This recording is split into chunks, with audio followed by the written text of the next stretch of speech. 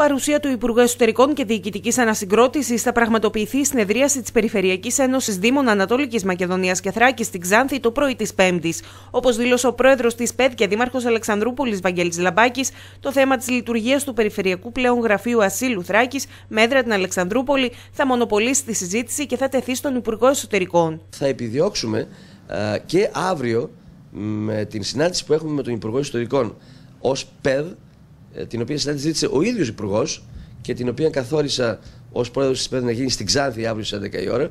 Και σας καλώ βέβαια να έρθετε για να συμμετέχετε σε αυτή τη συνάντηση και να δείτε τι θα διαμειφθεί μεταξύ του Υπουργού Εσωτερικών και των 22 Δημάρχων και του Διοικητικού Συμβουλίου της ΠΕΔ.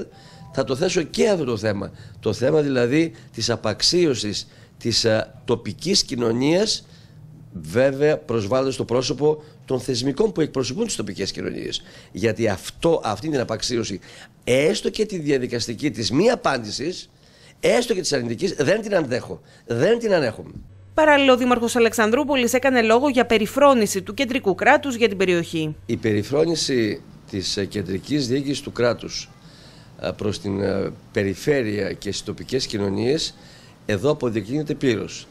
Ένα έγραφο επιστολή προς τον Πρωθυπουργό της χώρας με κοινοποίηση ε, στο αρμόδιο Υπουργείο πριν περίπου ένα μήνα όπου ζητάμε τη μετακίνηση του Γραφείου Πολιτικού Ασύλου από την περιφέρειά μας, από την Αλεξανδρούπολη, εκτός περιφέρειας για λόγους ευνόητους και γνωστούς. Και όχι μόνο δεν μας στέλνουν απάντηση έστω και αρνητική απαξιώνοντας και διαδικαστικά το πρόσωπό μας όλη τη θεσμικής κοινωνίας εννοώ, ταυτόχρονα δημοσιεύουν στο ΦΕΚ και την ίδρυση ενός αναβαθμισμένου περιφερειακού πολιτικού, α, γραφείου πολιτικού ασύλου στην Αλεξανδρούπολη. Καταρχήν, εγώ ω μικρό ρωτάω, εάν τώρα μπήκε, ε, δημοσιεύθηκε στο ΦΕΚ, κάθε νόμος ισχύει από την ε, δημοσίευση του στο ΦΕΚ.